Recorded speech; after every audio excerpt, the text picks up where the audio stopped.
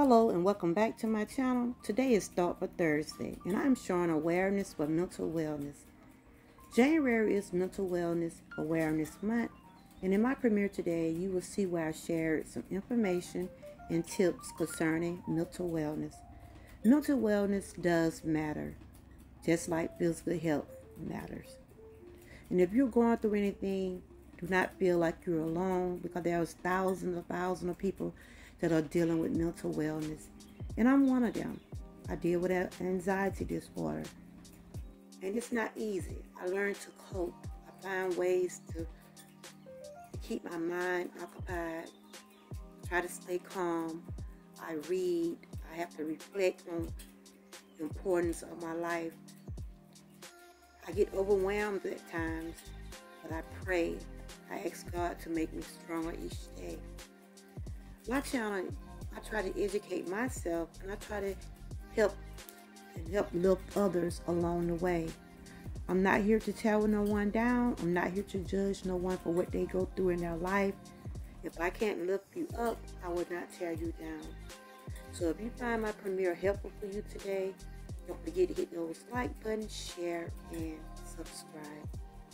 And you can also check out my online store. I have some Merch available for 20% off. I pray your evening be well. Stay blessed.